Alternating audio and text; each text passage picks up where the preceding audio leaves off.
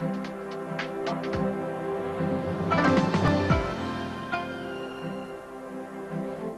back and from uh, Nile University 100 to something that is really uh, uh, a little bit uh, light and entertaining and delicious.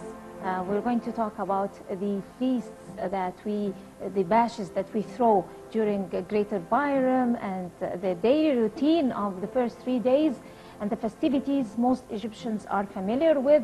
Whoever who is not familiar with uh, our feasts in uh, Greater Bayram, you could uh, be attending uh, a full table full of uh, rice and uh, kinds of dishes of rice and, um, and meatballs and you know all kinds of meats, well cooked and that has the sauce also and the gravy, the, the certain kind of gravy, gravy Egyptian style. Uh, well, today we're going to talk with Dr. Mounir William, the, the professor of plastic surgery and nutritionist. He's going to tell us about the proper diet during Greater Bayram and the dangers, uh, dangers of eating excessive meat. And you should underline that.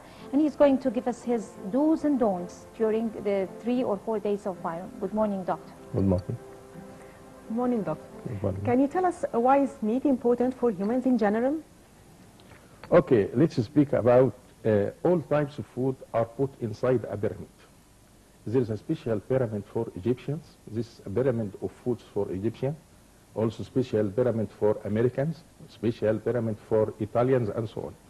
As for the special pyramid for Egyptians, which contains all types of foods, it is divided into four layers.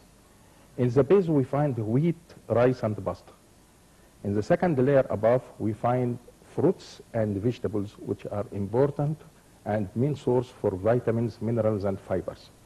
In the third layer, near to the apex, we find meat, which is animal with protein, and we find also constituents of animals, which as milk and cheese and so on. In the top, we find fats, polysaccharides, and starch. This is the pyramid for eating in the Egyptians.